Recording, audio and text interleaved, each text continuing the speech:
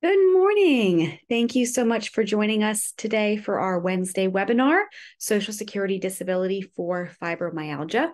My name is Kaitlin Wildoner. I'm the founding attorney of Beacon Disability PLLC, which is a law firm based in Florida where we exclusively practice federal administrative law and we focus on getting you your disability benefits as quickly as possible so that you can focus on getting better. As I mentioned today, we are talking about Social Security disability for fibromyalgia. And before we go any further, I want to address a couple of things. Number one, I do not take questions on the live webinar. And the reason for that is not because I don't want to help, I do. The reason for that is because we often need more information to give a solid answer. And so instead of trying to get your information in front of other individuals, what I ask is that you schedule a time to chat with me one on one, and we'll go ahead and drop that link in the chat on the live now. If you're watching on the replay, that link to schedule a call will be down below. Always happy to help if we can. So please do feel free to schedule that call. The second thing is today's webinar is not legal advice, but is instead intended to give additional background and information for those individuals who have fibromyalgia who are considering applying for Social Security disability benefits. So, with that, let's go ahead and get started. Here is our roadmap for today. Um, most of our webinars, if you've watched any of them before, they follow a very similar path. Um, we start out talking about Social Security disability basics and guidance. Um, usually we will talk about a listing. Fibromyalgia does not really have a listing. So instead, today we are talking about a Social Security ruling that will show us what the agency is looking for in fibromyalgia claims. We'll also talk about some considerations. And then finally, we close out with how an attorney may be able to help you with your Social Security disability claim. A little bit about me. As I mentioned before, my name is Kaitlin Wildoner. I am the founding attorney of Beacon Disability PLLC, which is a law firm where we're based in Florida, where we exclusively practice federal administrative disability law. We do help clients outside the state of Florida. It does depend on your specific situation as to whether it's something that we might be able to help with. Um, but do feel free to reach out to us and see if it is something that we can help with or if you have just a couple of questions that we might be able to shed some light on or help you get some answers on. There are two different Social Security disability programs. They both require that you be disabled and unable to work for a period of at least 12 months. You don't have to be out of work for 12 months before you apply. It just has to be expected that you'll be out of work for 12 months.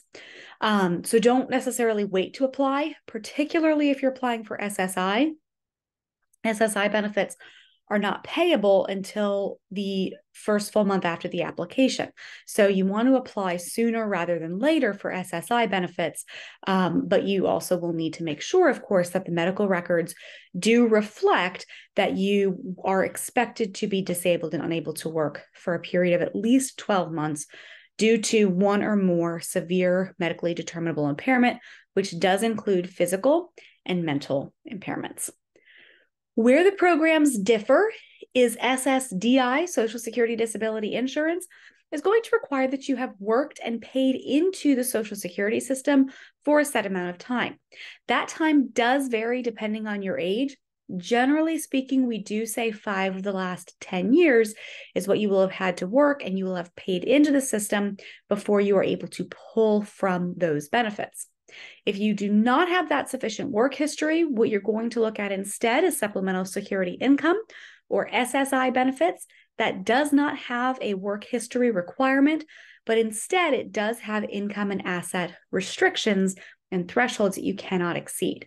The income restrictions vary depending on household size. So I don't cover those.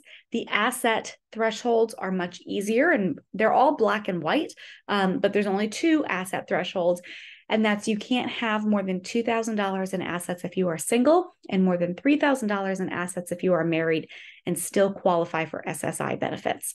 So, again, in addition to the asset restrictions, there are income limitations for the household as well that you will want to look into only for SSI. SSDI does not have those same requirements. When you submit your initial Social Security disability application, whether it's SSDI or SSI, the first thing they're going to look at is that second prong. Do you have a sufficient number of work credits for SSDI? Or are you below the income and asset thresholds for SSI?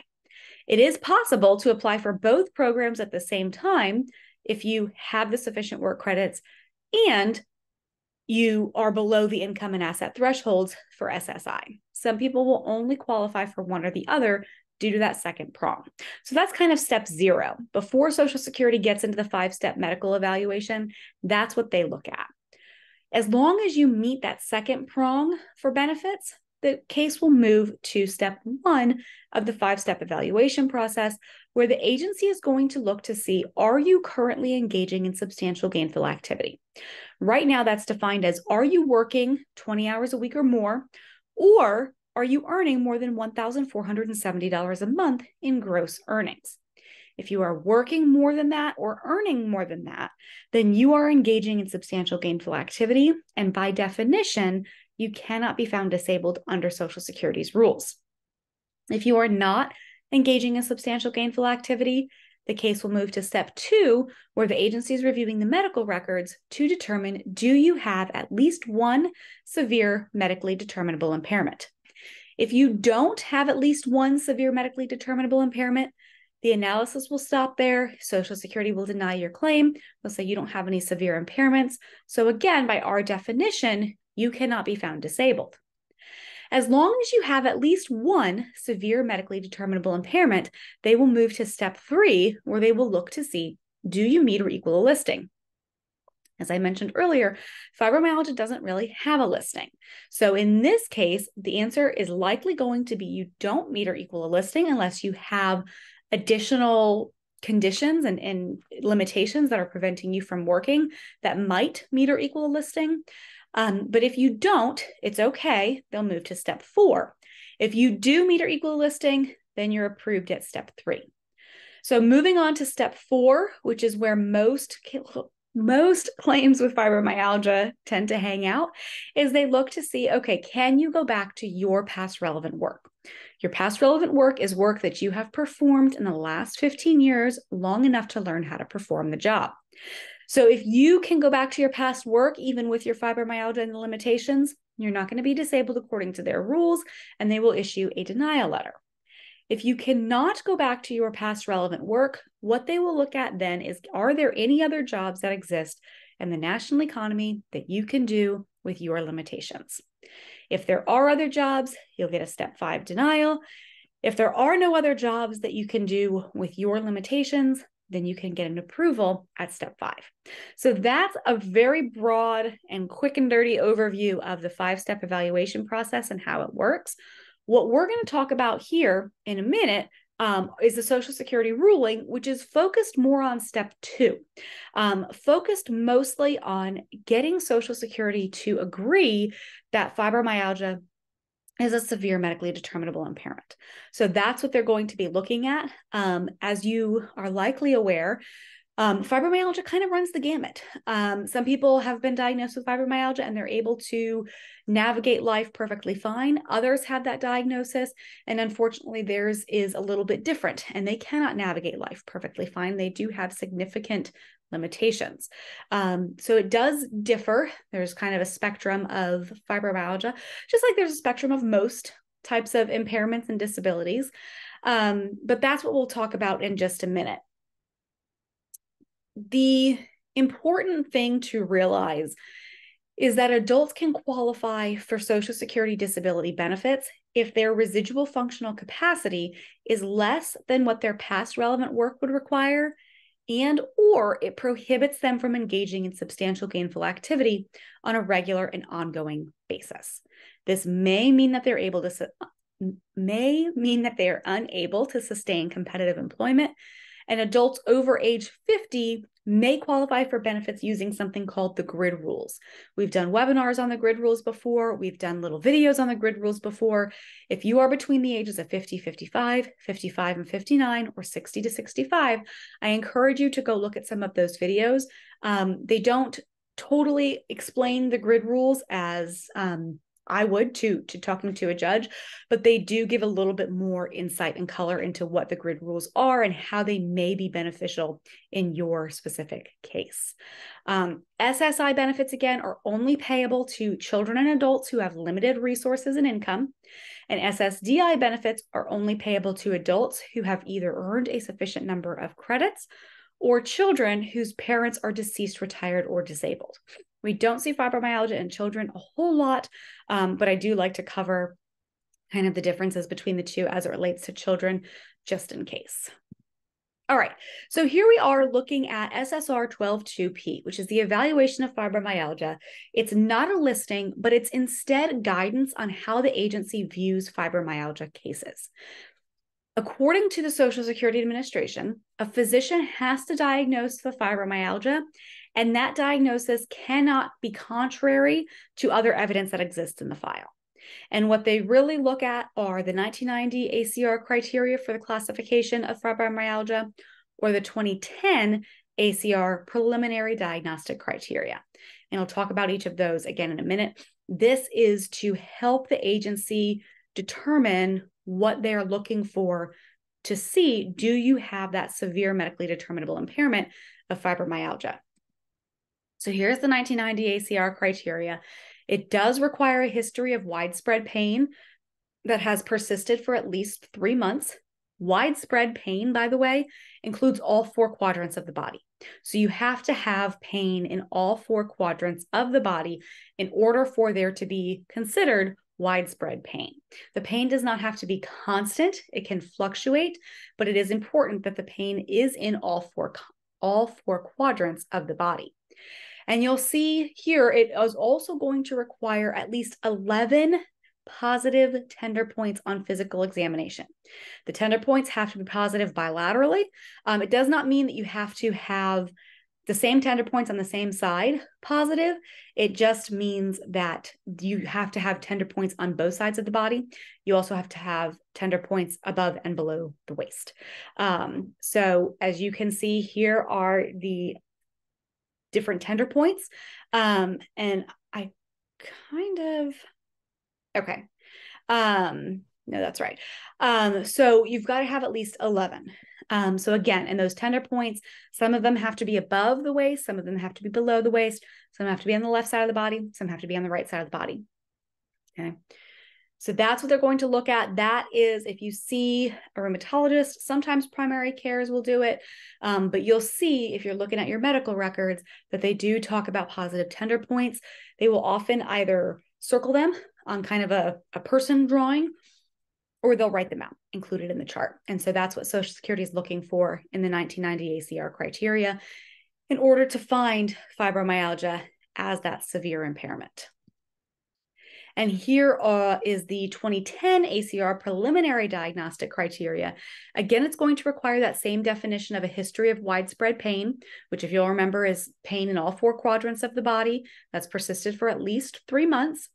It's also going to require, instead of tender points, it's going to require repeated manifestations of at least six fibromyalgia symptoms, signs, or co occurring conditions, including and especially fatigue, cognitive or memory problems, waking up unrefreshed, depression, anxiety, irritable bowel syndrome, all of those things. Um, if you've got medical documentation of those types of repeated manifestations, and there's evidence that other disorders that might cause those manifestations are excluded. Okay, so it's it's a little bit of a different criteria but that is the alternate way for Social Security to review the medical records and to find that fibromyalgia does exist as a severe medically determinable impairment in your claim. All right, so as you can see, and this is the case in all disability cases, medical records are paramount. Um, functional capacity can also be relevant, particularly in fibromyalgia cases, since there's not a fibromyalgia listing per se.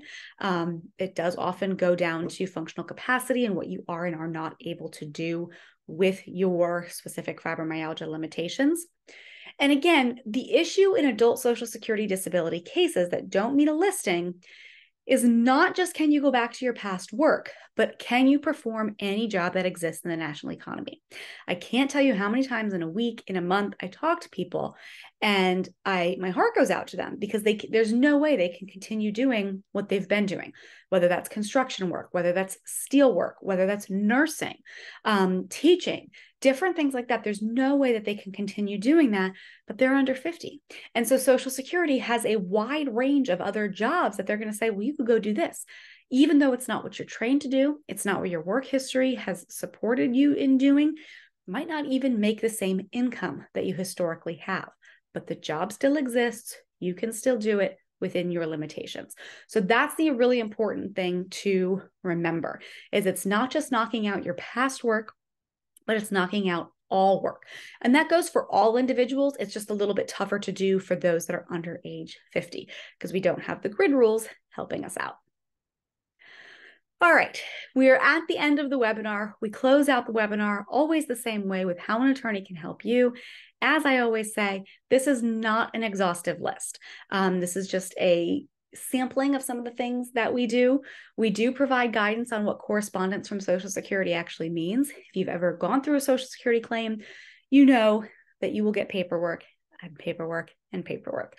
Um, and that sometimes it's hard to know what they're looking for. What does this mean? What do I do? Do I need to act? Do I need to just sit here? What, what do I need to do? Um, so we provide that guidance. We file necessary appeals, either if you are already a client of ours or if you become a client of ours in enough time after that denial. We do review your medical records in your case file. We can discuss what additional records might be helpful in your case. We review your documents for accuracy and completeness and discuss what Social Security is looking for in their requested forms. Um, we don't fill out those forms for you. The adult function report, supplemental pain questionnaire, supplemental headache, cardiac, anxiety, all of those supplemental questionnaires are sent out to you to get so Social Security can have a better understanding of what limitations you specifically have as a result of your condition. So we don't know. We we are not in your shoes. We are happy to review them. We are happy to talk about them with you, but the actual filling out of those forms, we do often ask for you to do. Um, we do work with you to provide relevant updates to Social Security throughout your claim and from Social Security throughout your claim. If you get to the hearing stage, we do prepare you for that hearing before an administrative law judge, and then we will question you and any witnesses during your hearing. Okay. Um, as I said at the beginning, I'm always happy to help in any way that I can. Please do feel free to reach out. You can give us a call, send us an email. We'll go ahead and drop the link to schedule a call again in the chat on the live. It is down below on the replay. If you have questions, always please feel free to reach out. We're always happy to help and do anything that we can to help or point you in the right direction. So thank you so much for watching and joining us today. Have a wonderful day.